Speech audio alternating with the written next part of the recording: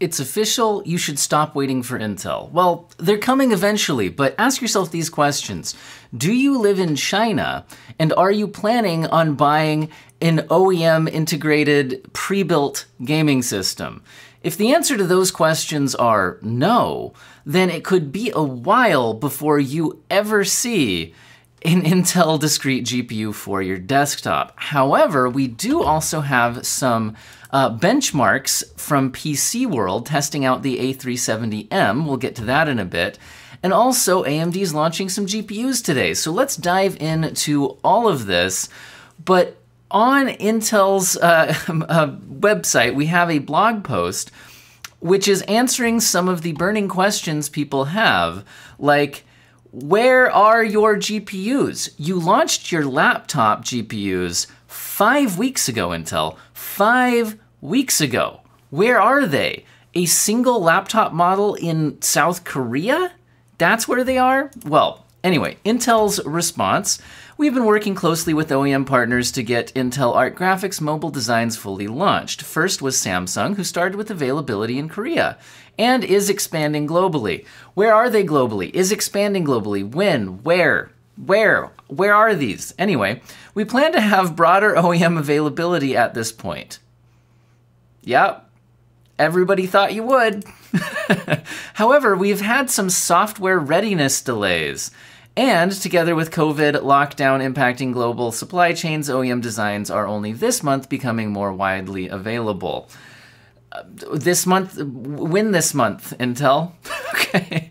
Um, we've had some software readiness delays. Okay, I think. I think that's the real issue is they're having trouble getting their software going here. Ah, I'm gonna move myself out of the way. Ah, anyway, now, despite the constraints, our OEM partners have announced laptops with, yeah, announced laptops with Intel Arc 3 graphics, including Samsung, Lenovo, Acer, HP, and Asus. And we're working with our partners to help get them these products into market as soon as possible. Laptops with Intel Arc 5 and Arc 7 graphics will start becoming available in early summer. Start becoming available. Just like how your Intel Arc 3 mobile laptops started becoming available five weeks ago? Is that what we're doing? Okay, well, anyway, I don't care about laptops anyway. So, how about question number two? When are the desktop cards with Intel graphics coming?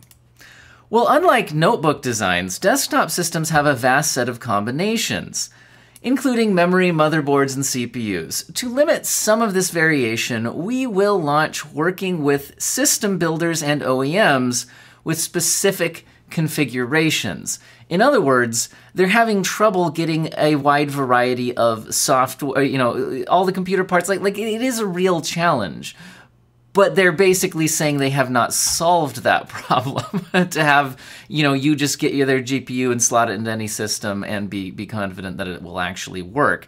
So anyway we will release our entry level intel arc a series products for desktops starting with the low end a3 first in china through system builders and oems in quarter two. Yeah that's right. China exclusive and not even individual cards. We're talking system builders and OEMs in quarter two. Anyway, e-tail and retail component sales will follow shortly in China as well.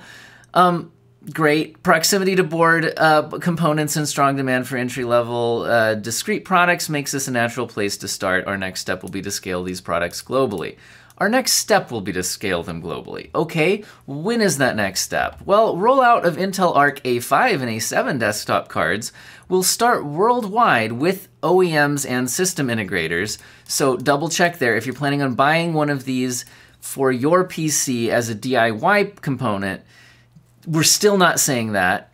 We're starting with OEMs and system integrators later this summer followed by component sales in worldwide, cha worldwide channels. Notice there is no timestamp given to that other than it's after all the OEM parts and system integrators.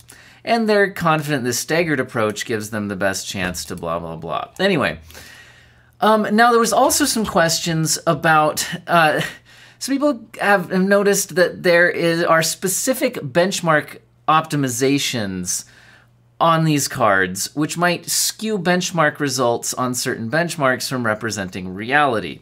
Now, to be honest, I don't know the specific details of which of those which benchmarks are affected by this, but they had promised a driver update to solve this in April. Well, April's long gone now, and that didn't happen.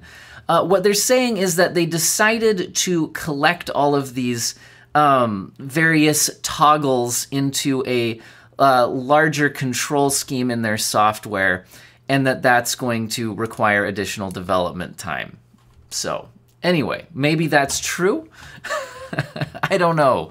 But anyway, if you're still at all interested, we do have some benchmarks to look at. So uh, we have PC World able to test an ARC A370M. So notice this is M. It's the 370. What does that mean? Well, the 300, the A3 series is the lower end parts, but there's a, an A350 and then there's the A370. The A350 we have actually seen before in this one little laptop model in South Korea. And uh, the A370M, well, is being viewed in a very specific way here. So it, it, it's important to understand that this is not PC World getting their hands on one of these things to play with and do their own completely unlimited testing. This was paying a visit to Intel's Jones Farm campus in Portland, Oregon, where Intel invited him to put an ARC A370M reference laptop, which is based off of MSI's Summit E16 Flip Evo through the ringer. So basically, he got one hour to test out this using benchmarks of his choosing. But like yeah, and now now also if you want the testing details and what they put these things up against, these were performed again on this reference model uh, laptop from Intel while they were on uh, on Uh, the campus. However, he did get five identical reference systems, which allowed repeat tests. So even though he only had an hour, you could run multiple tests simultaneously on the various systems and then average those results. So it's a little better than just being given one thing. Now, Intel also provided the Alder Lake reference system, uh, which is giving him the Intel Iris Xe graphics comparison data for these benchmarks. But then the other systems uh, they're benchmarking against are an HP Spectre X36016 and an Acer 5 Nitro, which are review systems not provided directly by Intel. So those would not have been, you know, artificially limited by Intel if you were expecting something like that. Um, and we had performance power settings on um, these systems while the Acer 5 Nitro was at default, and they were able to do 3D Mark, Time Spy, Shadow of the Tomb Raider, Final Fantasy XIV Metro Exodus Enhanced Edition, so we do see some ray tracing performance. And um, anyway, let's let's pop into some of these benchmarks. So in 3D Mark Time Spy, well, I'm a little bit curious, to be honest, how this one plays into the whole like, um, what about benchmark specific optimizations question mark? Does anybody in the comments know if 3D Mark Time Spy would be one of the ones being artificially kind of boosted by this? I honestly don't know. But anyway, its performance in this actually does have it almost match, almost tied with a uh, RTX 3050 laptop here which is pretty interesting. Um, that's uh, this one, and it does beat another uh, RTX 3050 laptop here with the Spectre X360, and um, you know significantly behind a 3050 Ti laptop, and and well behind a 3060. However, it, it's competing in there with the 3050s in this benchmark, and it is uh, a huge jump from the Intel Iris Xe. So the actual performance here isn't terrible. okay, but that's but what about some actual games?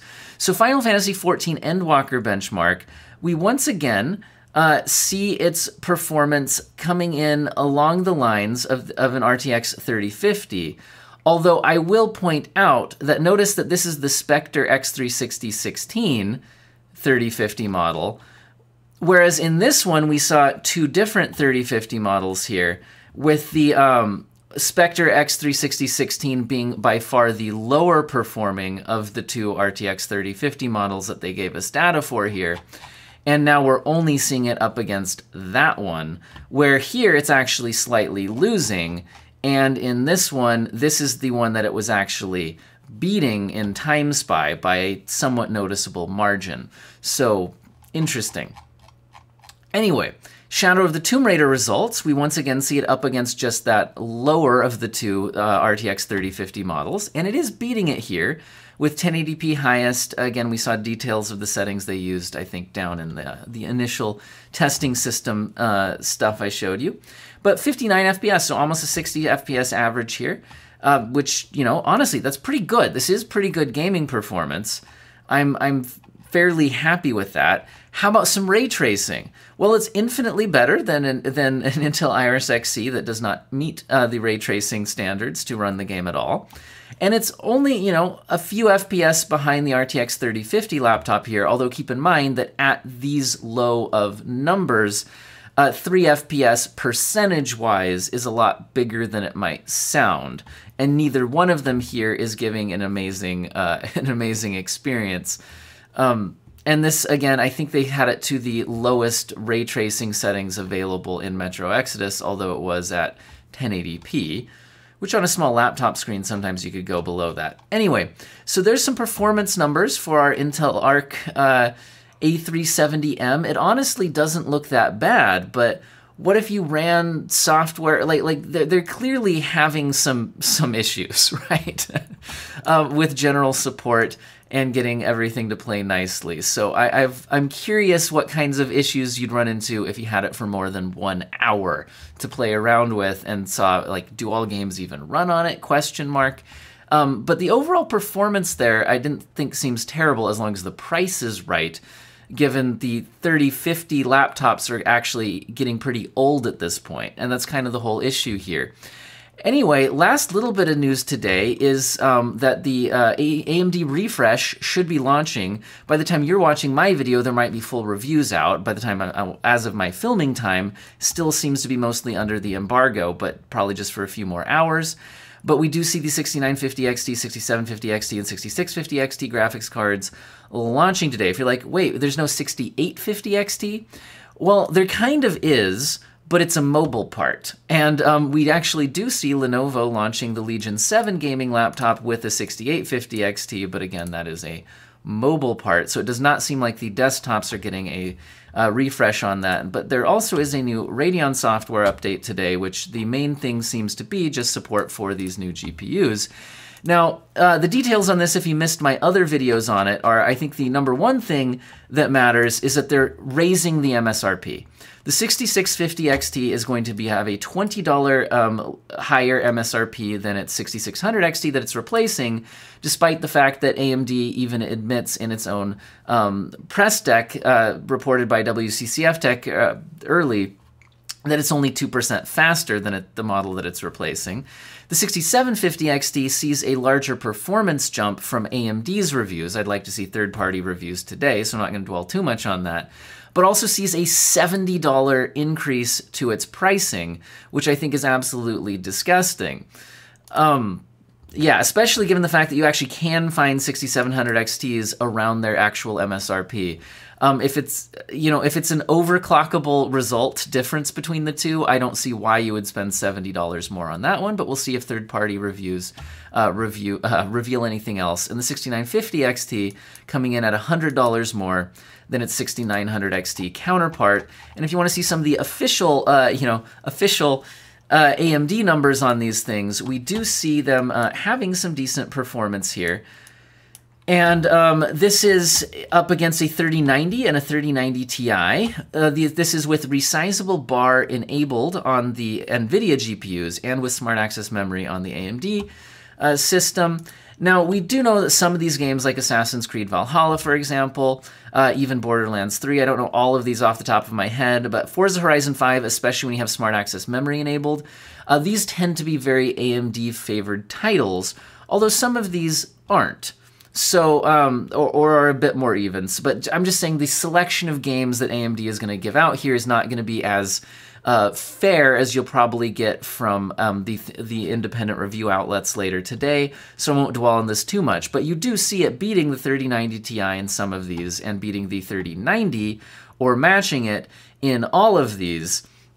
However, again, these were games that AMD did select, so that is important to keep in mind, although I'm still not suggesting that's in, you know, uh, a bad result or anything like that. The 6750 XT, we see it up against a 3060 Ti and a 3070, again, resizable bar and smart access memory enabled here. And again, in this particular set of games, we are seeing the uh, 6750 XT winning in just about all of them, uh, with Shadow of the Tomb Raider coming in slightly behind the RTX 3070. Again, I don't think that this is the typical average that result that we're going to see um, from third-party reviewers. I think it will pull ahead of the 3060 Ti, which it was pretty closely matched with on its non-50 model, uh, its non-refreshed model. Um, but yeah, I, I, don't think it'll be consistently beating the 3070 in a wider sampling of games. Um, and the 6650 XT, uh, again, we're just we're seeing it up against the 3060 which um, yeah, I mean the normal 6600 XT was already beating this, the the 3060s, so I'm not sure this tells us all that much. The more interesting comparison, I think, is versus the model that it's replacing, and whether it's worth the amount more. Uh, that they're charging here, given especially that the 6900, uh, 6900 XT has already been available for under its $1,000 MSRP. And uh, like I said, these other models have been available um, at their MSRPs, and even the 6600 XT I have seen uh, falling below its MSRP if you count rebates. Okay, guys, that's it for today. I hope all of you have an excellent day.